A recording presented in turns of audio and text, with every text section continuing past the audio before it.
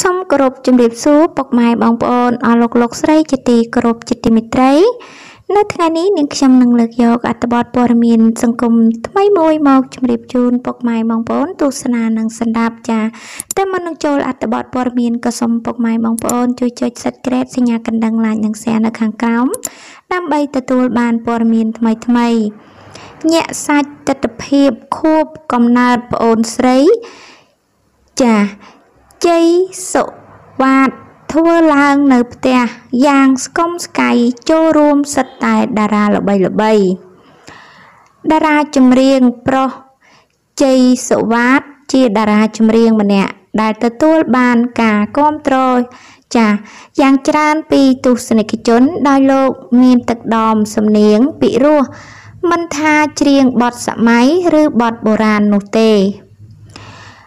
យ៉ាងណាមិញបន្ទាប់ពីឆ្នាំចុងក្រោយនេះ យើងសង្កេតឃើញថាតារាប្រុសរូបនេះ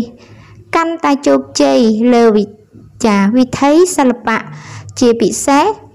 ជីវិតឯកជនរបស់លោក ក៏កាន់តែฮืអហា ដោយ មានរថយន្តទំនើបទំនើបជិះនិងរស់នៅ ក្នុងផ្ទះធំស្កុំស្កៃទៀតផង ក្នុងនោះដែរថ្មីថ្មីនេះ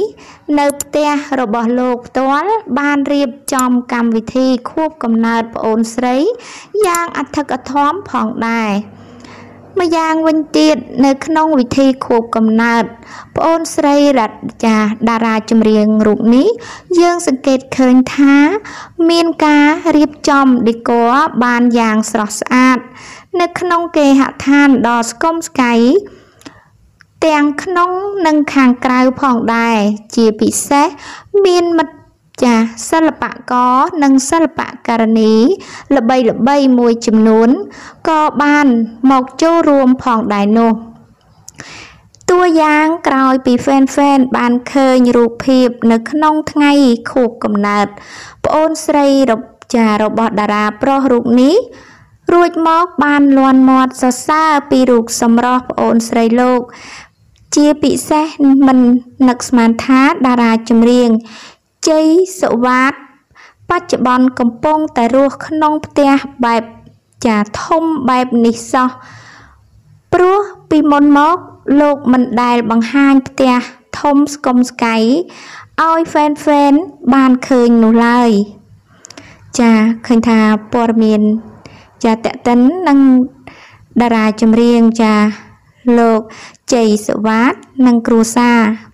ព្រោះអីខូបកំណើតប្អូនស្រីរបស់លោក ចាឃើញថាតារាចម្រៀងមិនដែលបង្ហាញផ្ទះដ៏ធំស្គមស្កៃរបស់លោកដល់ពេលបើកបង្ហាញ ចា fan fan បើកភ្នែកយ៉ាងធំធំតែម្ដងព្រោះផ្ទះលោកធំហើយស្អាតទៀតចាឃើញថាព័ត៌មាន